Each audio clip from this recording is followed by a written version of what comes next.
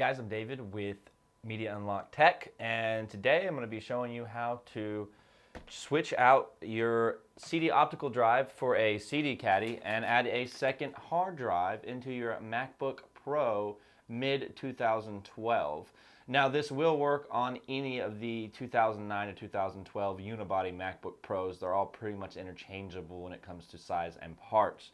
So I ordered two different CD caddies, um, as you can see right here, and I didn't really know which one to get because um, according to one of them, they're saying that they were the only ones that made a specific CD caddy for the MacBook Pro mid 2012, and uh, but this one right here came with a few more components and parts it looks like, and we're to take them out here in a second. And um, and it was a few dollars cheaper. So what we're to do is we're to call this CD Caddy number one, CD Caddy number two. So if you guys do decide you're interested in purchasing one of these, there will be a link down below and you can pick one or two. So one's going to be in the plastic kind of like this and then two will be in the larger plastic like this. So what we're going to do is we're going to go on and pull out CD Caddy number two and see what we have in there real quick before we start our install. So you just get your basic optical drive kind of caddy and it comes with, it looks like a few screws and um, and that's about it. A few screws and a, and a screwdriver. So you get a, a few things with this one. I like this one because it comes with two screwdrivers and extra screws and let's see how it feels. That one feels a little bit on the flimsy side. They almost look identical to each other to be honest. It's almost like it's almost very similar product, just the different things that it's coming with. And uh, so this one you get a little package that's kind of nice. You get a little package of uh, tools and screws. Um, you get some see-through screws, which is kind of crazy looking. I guess they're made out of plastic. So uh, you have that, and then here's the CD Caddy, which both kind of feel kind of flimsy. So on CD Caddy number one, you're going to get a few extra parts, where CD Caddy number two is very similar, if not almost the same thing, and you get a few less parts. So um, you're going to need these CD caddies um, to fit where your optical drive will be so that you can put the hard drive in there. And again, we're going to put in 16 gigs of RAM and a SSD. Pretty excited about that. 250 gigs. Samsung. It's got the Evo. Uh, it's supposedly really quick. It's faster than your average um, hard or SSD, I guess, for the price range. So I paid about 140 for that. There will be links down below for everything. And then I got a little toolkit um, so I guess let's get started. Let me show you guys how to actually take this uh, MacBook apart and uh, switch out these components. And then of course uh, we're going to have another video that's going to show you how to, and we'll put a link up, up right here for that. Um, we're going to show you how to take out the optical drive because I'll just have this the optical drive once we take it out of the MacBook Pro Unibody 2012. Uh, I don't really have a place for it. My optical drive and my MacBook Pro 2009 needs an optical drive because it died. Um, so we're going to put that optical drive in here. So this will have a working optical CD drive. So the first thing you want to do is take out all 10 screws on the back. Um, I'm going to add in a paper diagram that will allow you to uh, take the screws off the take the screws out and put them on the diagram. I'll add circles. So mainly just to be a, a picture of the laptop, uh, the back of it, where there'll be circles, and you can just take your screws right out and uh, and just put them in the circles, so you know exactly where they're at, so you don't lose your screws, because these are some pretty tiny screws, and there's three different types of screws altogether. So. Um, so I will add a link down below, and there'll be a diagram you can go download. Uh, there'll also be a diagram for the inside that I'm going to do, and I'll outline all the places to take out screws when you're doing the hard drive and the uh, the CD drive. So right now we're just going to take these out.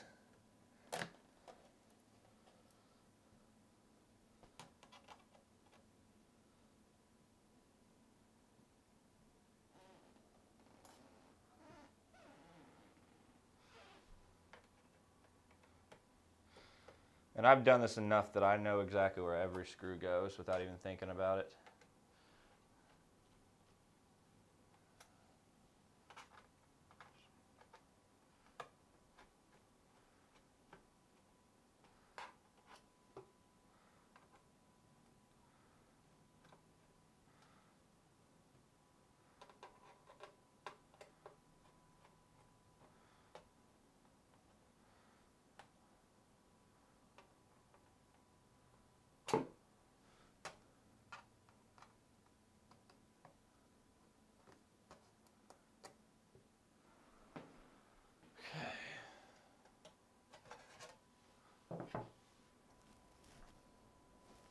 We have now opened the back of the MacBook Pro as you guys saw. Um, a few things to mention. One, I do have a protective case on the front of this, so I'm not worried about scratching up my, and it's on a, uh, a sheet, so I'm not worried about scratching up the top of my MacBook Pro. But uh, suggestion is you want to put a sheet or a towel or something under it so you're not going to be scratching the top of this. Or if you already have a protective case kind of on the front, that will work as well. Just a suggestion, you know, you want to try to keep your Mac in the best shape possible. So the first thing that we're going to do is we are going to install the hard drive. Um, it's pretty simple install, um, but before you do that, when you're going to go on and pop out the power cord, which is going to be right here, and we're just going to pull up on it and just pull it out. Um, a lot of people tell you to use these little uh, small plastic pieces that help pry things. Anyways, I kind of have a, kind of long nails at the moment, so I'm just going to use my fingernails, and I was able to just pry that up. Now this is where your RAM goes. We're going to put that in here in a minute, um, but for now, we're going to start out with the hard drive. So let's go on and put in the hard drive. So let's take out the hard drive. So the first thing that we're going to do is just pull these out. And again, I will make a, I will take some pictures of the back of this and add in some circles and diagrams. So if you want, when you're done pulling this stuff out, there'll be a place to put it on a piece of paper. You'll just print out the piece of paper and put things where they go on the paper. And that may make it easier for you guys um, far as everything is concerned. So I believe it's just four screws if I remember correctly. So we're just going to pull all these out. And again, there will be a link to all the products in the description down below. So if you are interested in picking up any of these products, then there will be a link. So once you've done that, as you can see, it popped right up. So now what we're going to do is we're going to pull that off, and we're going to need to detach um, these little pieces right here. Um, and I'll give you guys a closer look at that. But on the side of the hard drive, as you can see, there's these little pieces. So we're going to pull those off and we're going to put those on the new hard drive. So uh, again, we're going to go back to the toolkit I used earlier. And we need to find a piece that fits. So I believe this one looks like it might be small enough. And so that fits in there pretty good. So we're going to take all four of those pieces out. And I guess I need to make sure I push this in all the way. And we're just going to take these four little pieces right out. Sorry if this is a little slow for you guys, but I really want to hit all the details and really show you guys how to do this so there's no questions. Um, I, the worst thing in the world is when people jump over things and I'm trying to understand how to put something together and I don't understand it and they go too fast or they just skip over things expecting me to know what they're talking about. So I'm going to try to make this as easy as possible. So, and last one here. So once you've done that, we're going to set this hard drive to the side because this hard drive is actually going to go right here. So now what we're going to do is we're going to add in those four pieces into the solid state, which will have the same holes as the 5400 RPM 500 gig hard drive has. Um, one thing I don't like about this toolkit, they don't have the magnetized set on it. So it is kind of a pain in the butt to use a little bit because it's not magnetized. And then I got to use these other magnetized pieces to acquire it if it falls. Um, so, and they don't fit in there as well. But again, this toolkit was, I think, $5. So as you can see, I'm having a might bit of difficulty getting these. So what I'm going to do is I'm just going to screw them in by hand, the first couple threads, and I'll go back through and screw them in with the actual tool, as you guys can see here. And this, I really can't wait to get all this hooked up because this computer is going to run like a charm by the time we're done putting it together.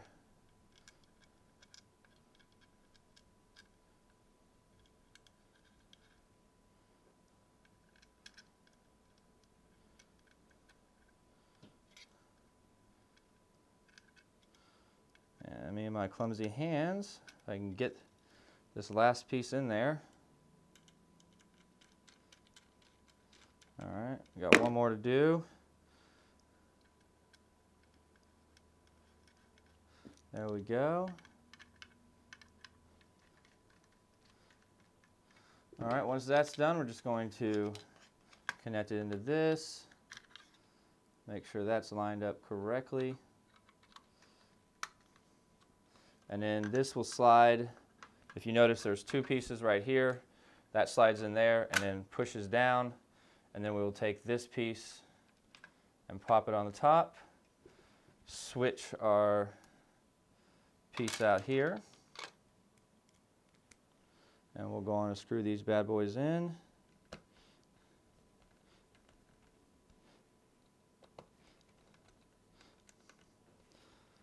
And we got two more to do here. And this will secure the hard drive in place.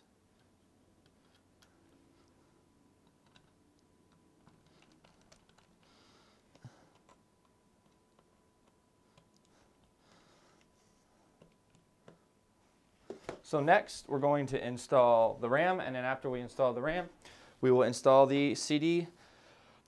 Okay guys, so installing the RAM should be a pretty easy process, so I guess the first thing we're going to do is, of course, open up our RAM packaging here and set it over here to the side. Set it up here. And uh, let's go on and pop out these pieces. There's little pieces on each side that you just push and you can pop and then you'll just, it pops up and you just pull straight out. And same thing for the next piece. Just hit the sides there.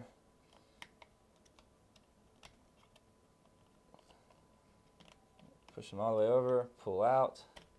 Now remember what side they're going on. And we're going to put in our Crucial RAM, which apparently has really good reviews, and it's some of the cheapest RAM that you can get. So with the Crucial, we're going to We'll angle it like this till we get down. And once we're angled and we're set up where we need to be, we'll push it in, push down. That piece is locked into place.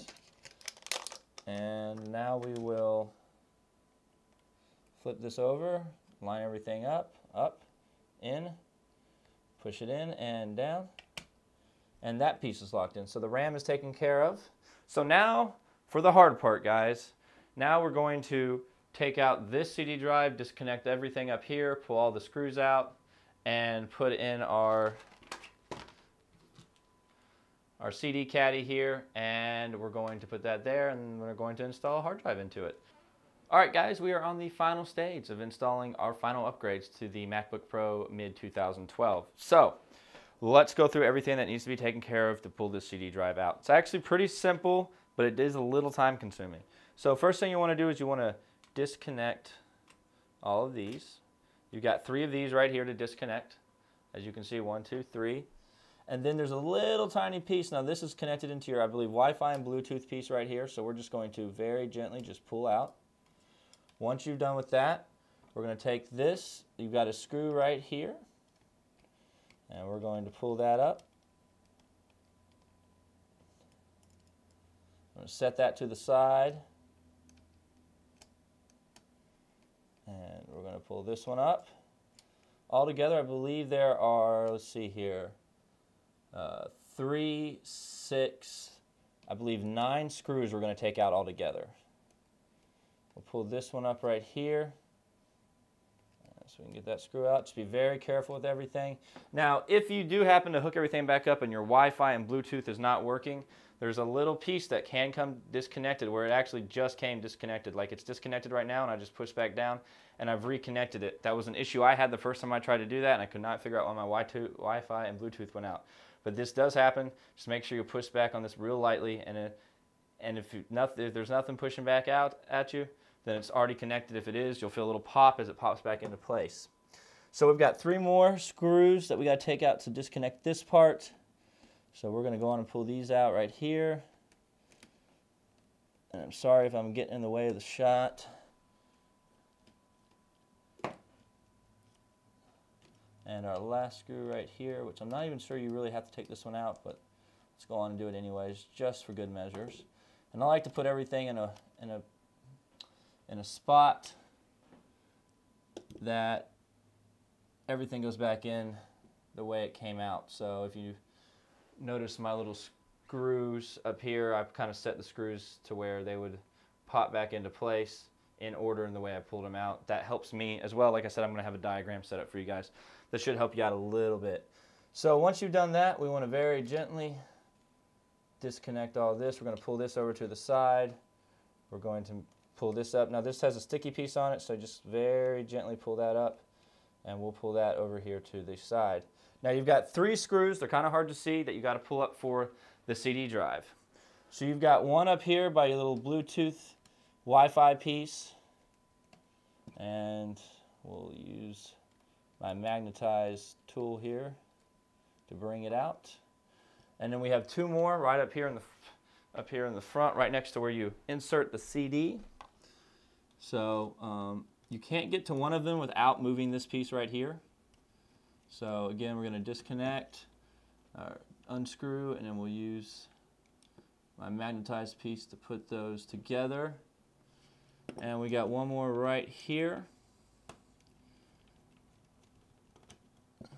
And pull that out of there. Once you've got all that disconnected, um, we're going to pull out the CD drive. Now we put all the screws and everything out.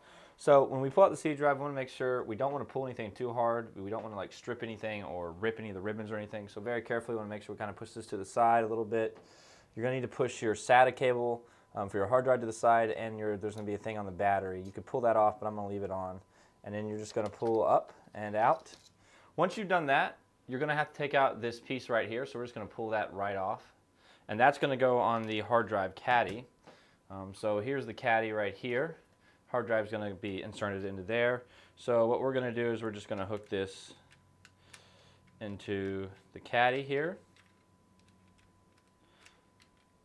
So once we put in the SATA cable right here, once we pulled it off the CD drive here, um, we're going to pop in our hard drive. It's going to be really simple. We're just going to slide it in like this, push it in, make sure it's connected.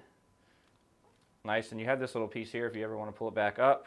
And then we're going to flip it on its back like this, um, or its front, I don't really know. But we're going to flip it over like this. You're going to have your two screw pieces here. Now this does not have a third uh, screw piece at the end like the CD drive does here. If you notice, you've got your, your piece right here. Um, as you can see it right there on the top of the screen. You don't have that at CD caddy, DVD caddy, or hard drive caddy I should call it. So now what we're going to do is we're going to slide it back in, but we need to make sure everything's out of the way first. Be very careful with everything. We don't want anything to get broken. And then we're just going to double check to make sure the holes line up, and they do. And we're going to start putting it back together. So we have our three screws here, and we're only going to need two of them. So we're going to screw them back in.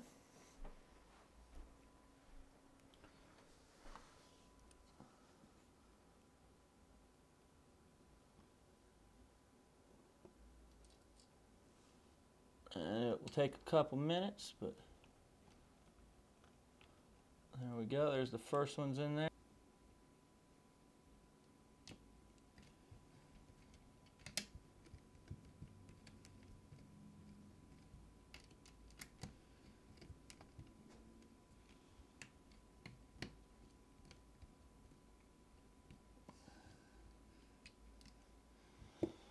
All right, so once you've got both of those screws in, again, I would hold on to that third. Third, I have one more screw left, as you can see, um, because there is not another connecting, there's not another piece that comes out of the back here. So um, now what we're going to do is we're going to put this piece back together and make sure that this is connected or your Wi-Fi and Bluetooth will not work. And we're going to screw all those screws back in. So we've got the two long ones are going to go over here. And you've got this little plastic piece. Or not in plastic, but little metal piece that needs to pop up on top of this So then we're going to get that metal piece in there right. There we go. And then we're going to connect in the first long screw and we'll go on and connect in second long screw.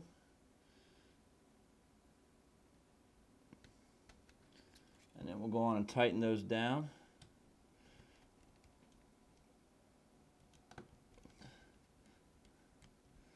make sure all these pieces here are still connected. You want to push down, not too much pressure. You don't want to hurt anything.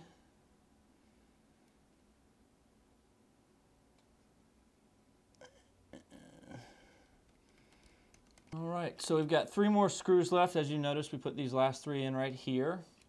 And now I'm going to pull this piece out and slide it into where it goes. This plastic piece has to be above, it fits in between the, the ribbon here and this piece right here. Um, and it should fit in nice. So what we're going to do now is we're going to go on and put the bigger screw in first and go on and secure that. And that's good. And then we got our two smaller screws right here left. And then we'll be done installing all screws. And we'll just have to put ribbons. Again watch out that you don't get your ribbon caught in your screw. You got to be very careful with that.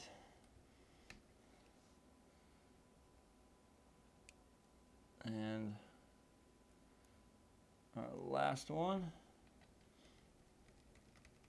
So now that's good. Now we've just got a few more connections to make and we'll be finished and ready to boot her up. So we're going to push this down and all these are just going to, they all fit back into spot. And then we just have our little Bluetooth piece. Be very careful with it and it just, you just push it back in. And now everything's hooked up, feels good and secure. Make sure all my screws there. I've only got one screw left over, which means I'm not missing any. Um, that one was left over from this, the CD drive, which as I mentioned earlier, the new hard drive caddy does not have that little piece up there at the top. So that's in there. Um, and we want to run this cord maybe a little bit seamlessly around. We want to go on and plug in our power. Now that we've got everything hooked up. And power's good. Got that all secure. So everything's good to go. We will pop this back on. And then I've got a little tray full of the screws that we're going to need to hook all that back up. You've got your three long screws here, a short screw. You got your short screws down here on the bottom. And on each side, it's a short screw, but there's a little bit of extra metal from the uh, head of the screw to uh, the bottom, there's a little bit of extra metal than you get with these, where this is just a straight screw all the way up to the head. So you know that these side screws are going to be a little bit different than these three screws down here, this screw up here, and then of course these are the three long screws that goes in the back. Um, again, down below, look, in, uh, look down below in the description bar, there will be a link so you can download a picture of this and I'll add in like circles so you know where to put everything. Um, and you can use that as a diagram. So once you take the screw out, you just put it in, in, the circle, and when you're ready to put everything back together, you take it out of the circle, put it back on the actual computer.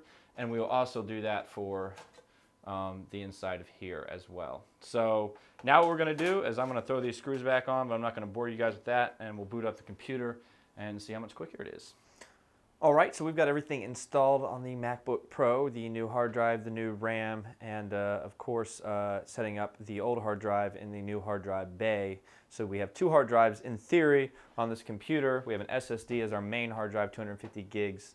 Um, that was uh, a Samsung. So we're going to boot it up. It's going to take a second, probably that first time it boots up. And then what we're going to do is go into disk utility and format the hard drive, uh, the old hard drive, the 500 gig 5400 RPM one that we put into the second bay. And we left the, of course, the SSD, we put that into the main bay. So the SSD is booting up. We'll uh, open up uh, Apple settings so you can see that everything is installed. And then we will use disk utilities to format um, the second hard drive. I'm probably going to do two partitions with it, one for photography, one for videography, um, and we will be done. Um, of course, the only th other thing we got to do is we got to take this optical drive, the next video will be taking this optical drive from the MacBook Pro, that, uh, the mid 2012 one that I just recently purchased, and throwing it into my 2009 uh, MacBook uh, MacBook Pro because the CD drive or optical drive is, is messed up on it. So as you can see, Disk Utility is already open, but if you wanted to find Disk Utility, just go up here and type in DIS, and there it is, as you can see, Disk Utility. And let me zoom in just a tad bit so you guys can see a little bit better. So we got Disk Utility up here. Um, so we want to check to make sure we have the RAM and everything installed. So as you can see, we have uh, 16 gigabytes of RAM, and we've got the 2.9 Intel Core i7. And the next thing that we want to do is hit more info and make sure, as you can see over here, the hard drive's there. But the other way you can look is go to storage, and uh, you can see that we have the second hard drive there. So now what we're going to do is we're going to go to here, and uh, we're going to erase it, which there's really nothing on it right now. So it shouldn't take that long to erase it. And then once we're done with that, we're going to do a, a partition. So that's going to take a little while to erase and take too long though, maybe another 30 seconds or so. And uh, there we go, it is finished. So now we're going to go over to partition and we want to make a two partitions evenly. So there are two partitions there and then we're going to apply. Once I apply, I'll go back in and rename the partitions and that will be that. So hopefully this video helped you out. Uh, if you guys would like to watch the video how to clone the hard drive, um, I will add a link in there. Pretty much all the links for this whole entire series of cloning the hard drive, adding in the new CD drive, adding in the new uh, hard drives uh, between the two computers and everything. Uh, I'll have a link at the end of this video and you'll be able to click on what video you want to watch. I believe it's going to be roughly a four or five part video that's kind of just showing you how to take care of a few things on your MacBook Pro. Anyways, hope this helped you out. We'll catch you guys next time. I'm David with Media Unlocked Tech.